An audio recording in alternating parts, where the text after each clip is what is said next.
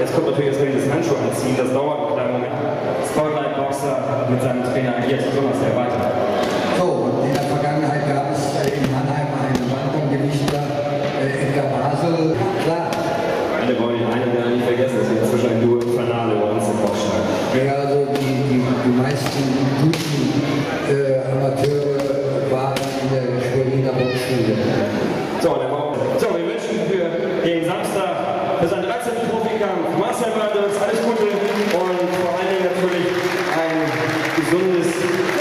Grazie.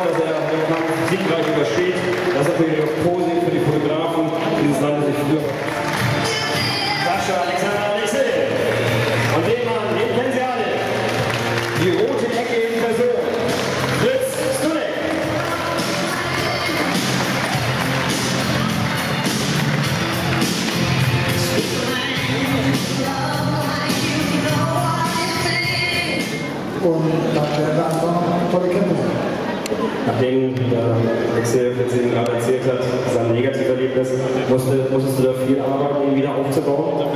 Also negativ Erlebnis war das gleich. Das war natürlich auch ein Fehler von mir, dass ich ihn habe boxen lassen. Und ich habe, er hat mich beschnippelt. Er war krank vor, dann er ist in guter Form und habe dort zu viel Geld. Und seine Aussage, ich hätte Arzt bekannt über absagen sollen, dass wir besser gehen. Er ist konditionell ein bisschen angebrochen, weil er, wie gesagt, noch vorher viel hatte, aber man darf ihm doch nicht so sehr viel vertrauen. Ein kleines Spielchen. Sie denken, das ist alles so ein bisschen hier Zirkus? Nein, das sind wirklich so Trainingsübungen. Also den Fritz Dunig sehen wir öfter mal im Gym, wie er einfach so jeden Sachen Gegend schmeißt. Das fängt bei Tennisbällen an, geht über diese Tratzen und die Jungs springen und hüpfen und drehen sich. Das ist die tägliche Arbeit. Was denn? Ja, die Beweglichkeit, äh, die Beinarbeit, alles spielt da eine ganz große Rolle. Ist gut für die Koordination, ist gut für die Beinarbeit und ist auch ein bisschen Konditionstraining. Wollen wir hoffen. Tanzen auch noch, ja.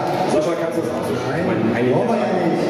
Aber ich, ich kenne ihn und äh, soll er eben Apostel sein. Aber er hat in seinem letzten Kampf hier in Deutschland bei Herrn Sauerland geboxt und hat da gegen Enan Litschina nach Punkten verloren. Was ein, nach Meinung der Experten, die am Ring waren, ein Fehlurteil war, kann ich nicht beurteilen, ich war nicht dabei. Aber auf jeden Fall, Auch in der Welt. Wir können dazu sagen, Fritz Dunig und alle Trainer bei Universum und Spotlight stehen sechs Tage im Gym und müssen morgens, mittags und abends tragen, dass man ihnen da diese äh, Handschuhe trifft und das natürlich nicht. Trainer Fritz Dunig, das sage ich aber auch gleich. So, jeder sein Bild bekommen, so gar nicht. Ne?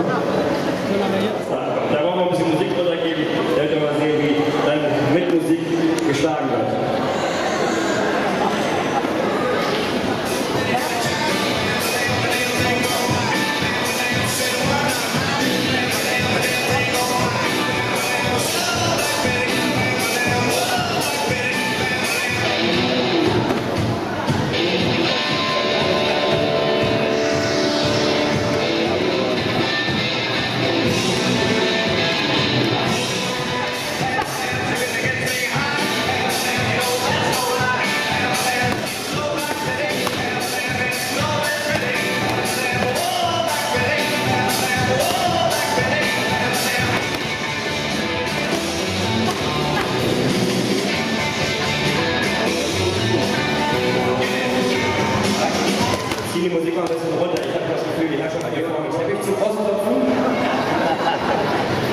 Auch selten, dass gerade bei so einem Training voll, voll draufhaut. oder? Das scheint ein bisschen Aggression im Raum zu sein.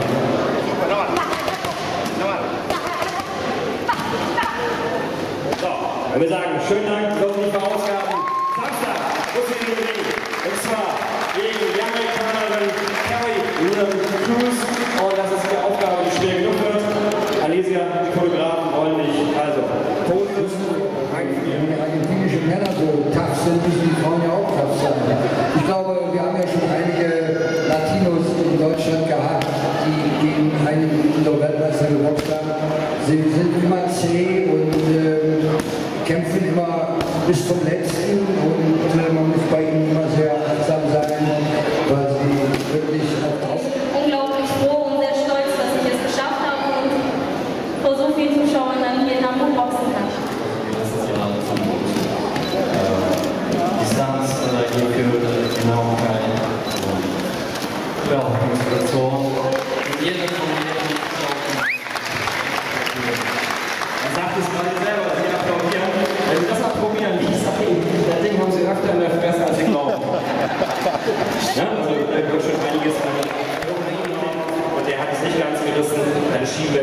Dresden nach. Und zwar kommen wir zu einem Kampf, da geht es um das Austragungsrecht um den nächsten Weg. Und sein Trainer ist Robert Murray Senior. Es gibt auch eine Junior dazu. Das Team ist groß, mit sechs, sieben Personen sind sie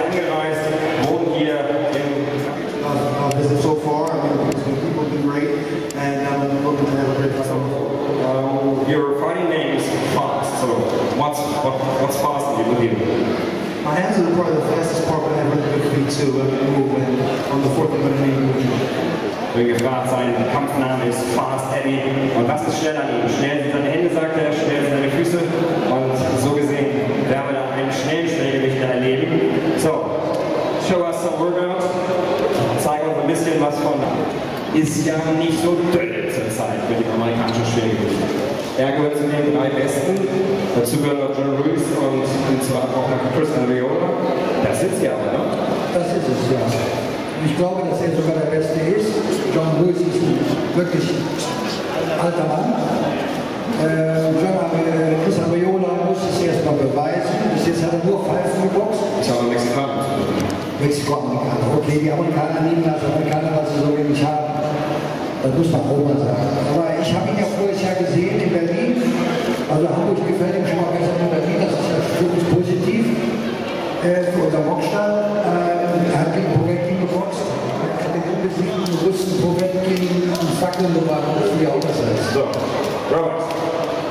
Um, so we worked with, uh, we worked with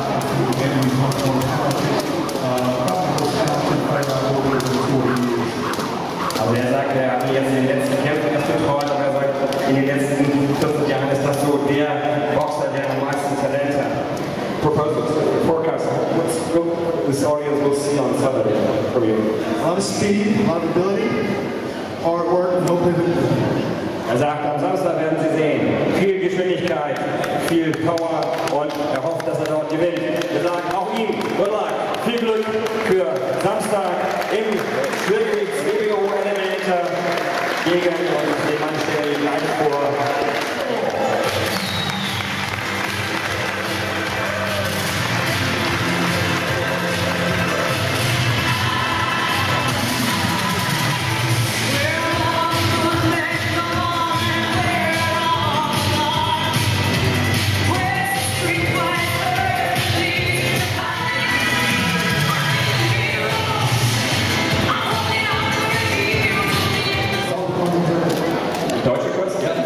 Wir hören jetzt mal öfter mit Jungs essen. Also ein Kultessen gibt es immer am Freitagabend vor dem Kampf. Da kann passieren, was. Auch die werden im Gym gerne geübt. Da fliegen die Bälle, da fliegen die Handschuhe oder was sonst noch fliegen kann. Und jetzt sehen wir auch, was es letztendlich heißt für einen Schwergewichter. Reaktionsschnelligkeit. Wirkungstreffer im Schwergewicht. Die sollte man besser vermeiden. Und das heißt, möglichst, das nennt sich dann Neigbewegung, also Ausweichbewegung, das sind glaube ich mal die Spielchen, die auf kürzester Linie was macht, kurze Seite, immer schnell zur Seite und ganzen geschehen ausspenden.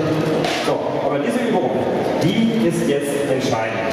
Also wer zu Spitze kommt und Ihnen noch ein schönes, schönes Shopping hier und Marcel, dir ein Dank für viele, viele schöne Jahre, die wir zusammen hier